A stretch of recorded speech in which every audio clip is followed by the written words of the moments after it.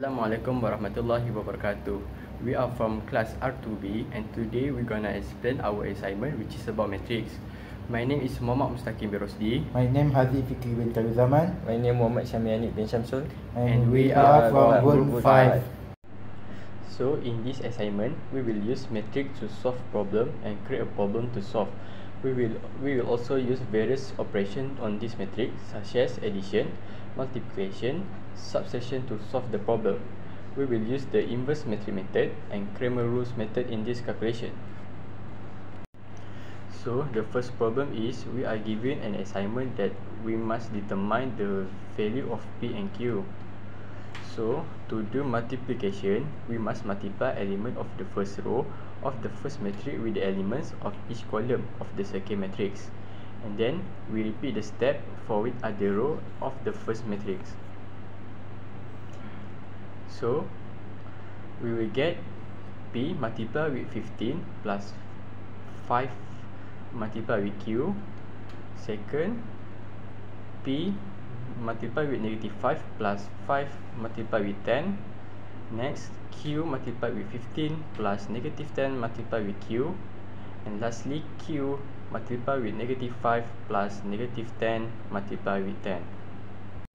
So the next step is we bring the coefficient into the front and the variable into the back so we will get 50p plus 5q negative 5q plus 50 mm, 50q minus 10q negative 5q minus 100 and then we simplify the um, 50q minus 10q and we will get 5q so the next step is we multiply with the 2 over 5 and we will get 6p plus 2q negative 2p plus 20 2q and lastly negative 2 minus 40 next from the matrix we convert into the four equation which is firstly 6p plus 2q equal to 40 second negative 2p plus 20 equal to 10 third 2q equal to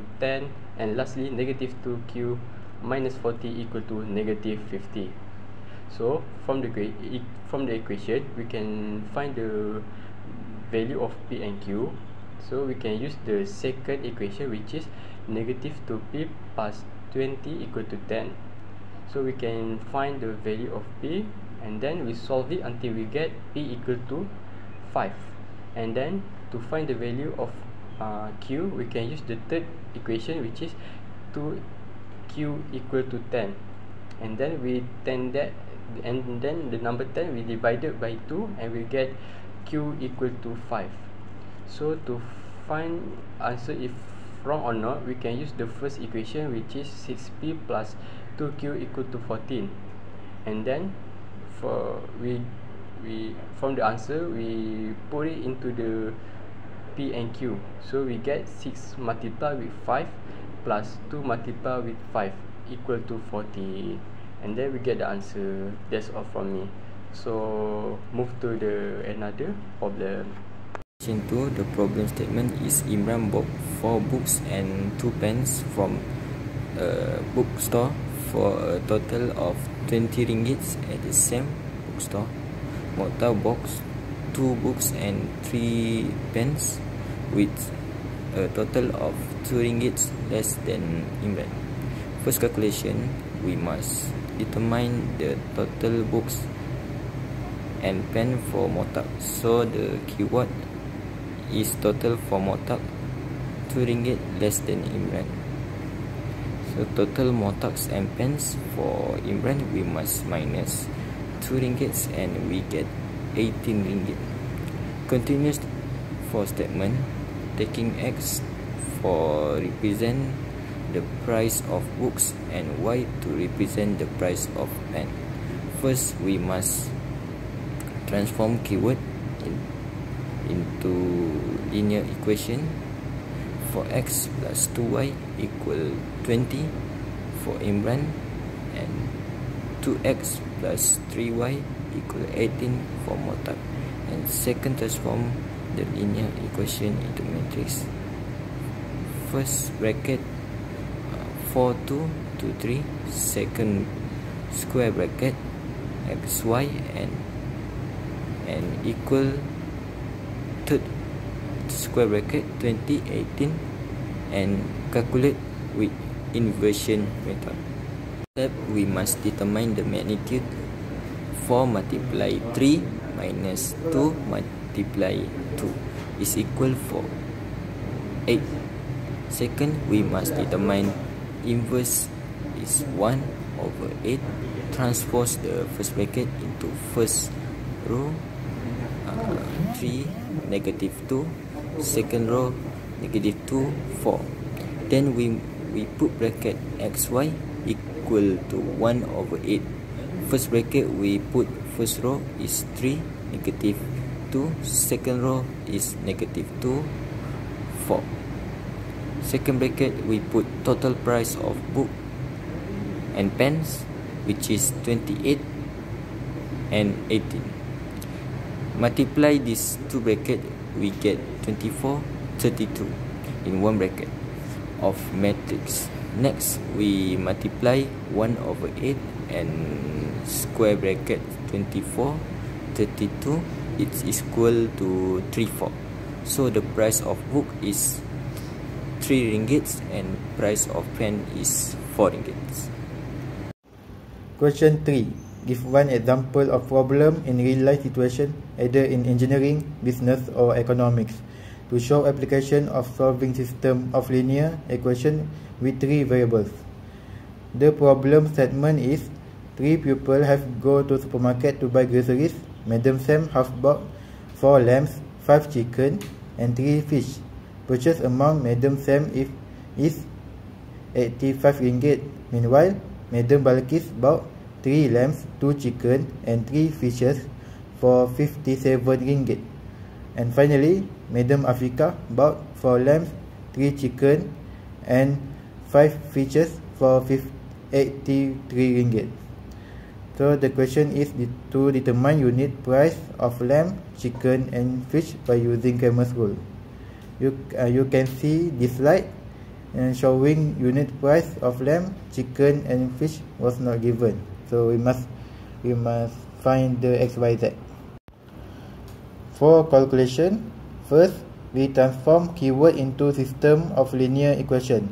Keyword you can find in uh, problem statement, and so we get for x plus 3y plus 5z equals to 85 for equation 1 equation 2 3x plus 3y plus 2z equals to 57 and equation 3 4x plus 5y plus 3z equals to 83 uh, next uh, for second second we transform transform system of linear equation into metric so in in this in this slide you can refer. So to find determinant we refer metric from previous slide. So for the determinant we get uh, 4 4 open bracket 9 minus 10 close bracket minus 3 open bracket 9 minus 8 close bracket plus 5 open bracket 50 minus 12 close bracket. Uh, so we get 4 times negative 1 minus 3 times 1 plus 5 times 3 so the determinant we get x 8 uh, next for the for the x we must build matrix x which is we replace column x. So uh, for the x we get uh, 85 uh, open bracket 9 minus 10 close bracket minus 3 uh, open bracket 171 minus 166 uh, close bracket plus 5 uh, open bracket 285 minus 249 close bracket. Uh, next so we get uh, 85 times negative 1 minus 3 times 5 plus 5 times 36 so the for the x we get 18 okay next for metric y like we find matrix Z X we replace uh, second column into 85 57 and 183 so dy like we find dx we get 4 times 171 minus 116 6 close bracket minus 85 uh, open bracket 9 minus 8 close bracket plus 5 open bracket 249 minus 200 to 28 close bracket so get so we get 4 times 5 uh, minus 85 times 1 plus 5 times 21 so dy we get for 14 so next for matrix z we replace uh, column z which is column third third column into 85 15 7 and 18 3 so dz we like like we find dy equals to 4 times times 249 minus 218 5 close bracket minus 3 times 249 minus 228 close bracket plus 85 time uh, open bracket 50 minus 12 close bracket.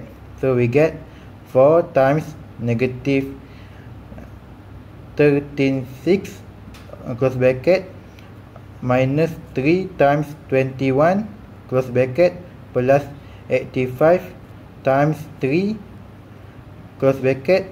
So for dz we get 14 8 so after we find uh, the determinant dx dy and dz we to we can go to final calculation uh, calculation. Is x uh, equals to dx over d equals to 18 over 8 So x equals to 10, y equals dy over d. So we get 5 and z we we get dz over d. So z is equals to 6. So the, the final answer is x equals to 10, y equals to 5 and z equals to 6. So let's go to conclusion. As a student, mastering matrix is crucial for understanding fundamental mathematical concepts and developing problem-solving skills. It provides a solid foundation for advanced topics like linear algebra, algebra and data analysis, essential in fields such as engineering, computer science and physics. Additionally, proficiency in matrix and change critical thinking abilities and prepares students for tackling complex problems across various disciplines.